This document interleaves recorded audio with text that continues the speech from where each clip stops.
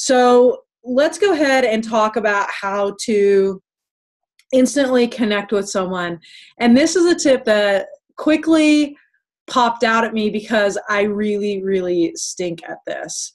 Um, most of the time, when I'm not like in the zone or purposefully trying to be um, friendly, I I don't really connect all that well. It's a lot easier for me over the webcam because I have to actually turn the webcam on.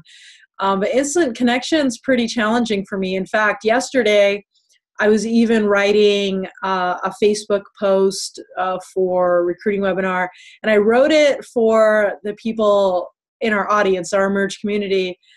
But then I couldn't write the first line um, for it to go to an audience that had not already heard of emerge. Like that's how bad I am at building instant connection. Um, and if we're going to just keep getting more and more vulnerable and I guess uh, embarrassed, is I don't really love meeting new people. Now, I love once I meet them um, and I get to know them, I really get excited about that and building that deeper relationship. Um, but I'm not a natural schmoozer, I guess. It takes me a little while to get comfortable. Um, and I think one of the reasons that that's challenging is because I don't even know where to start. And so recently I have been going back through reading The Science of Selling. And this is a great book that is a compilation of many of the definitive works on the science of selling and influence and persuasion.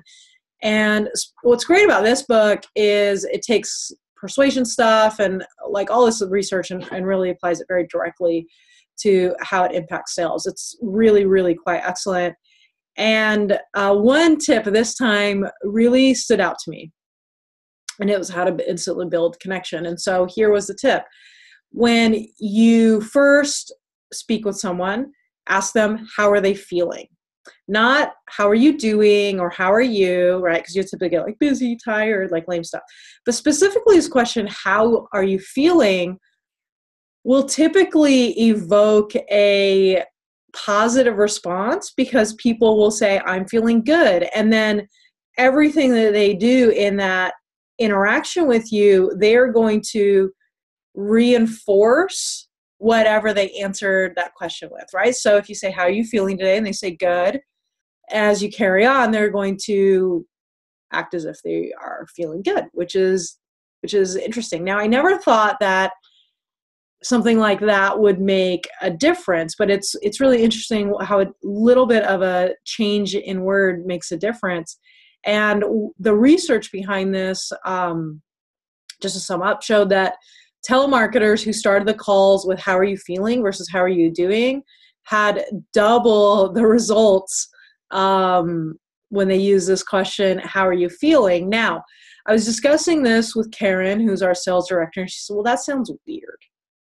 and I thought, okay, yes, it does sound weird. And I think we have to take a step back and ask ourselves, why does it sound weird? It sounds weird because nobody does it.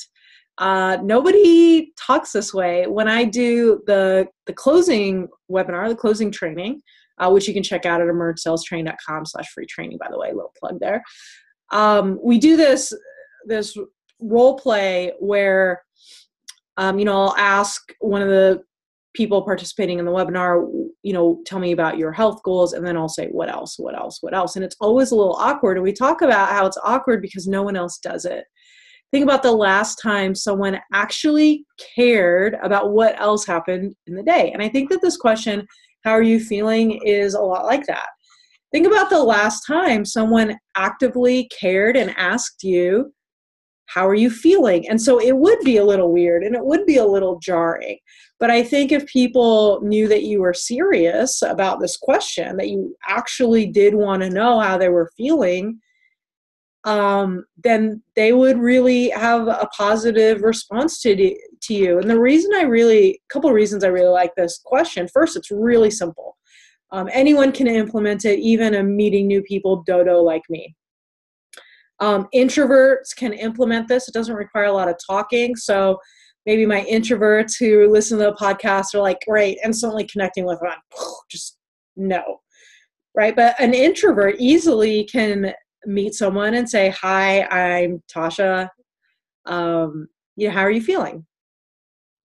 And I know that sounds a little weird, but it works. And I've tried it a few times and it does work. It's so cool. Um, and then, of course, the last reason I like this question it's been proven to increase results when it comes to receptiveness and influence and, you know, casting you in a positive life, light and increasing the mood. Uh, it puts people in a better emotional state, and we want them to be in a better emotional state, not a better logical state. So people make decisions based on their emotions, not their logic. We would all love to think that we are logical, logical people. We are not. We are emotional people. And so if we want to bring someone into a positive emotional state, we should ask a positive emotional question like, How are you feeling? Um yeah so i just i love this little tip and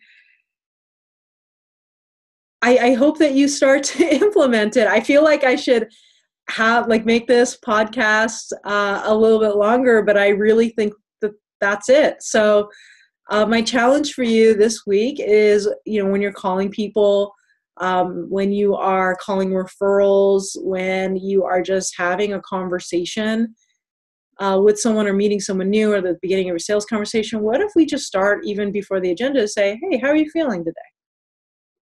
And then go into it and bring um, them into a positive emotional state, which is what we want to do as humans, right? We want to be encouragers.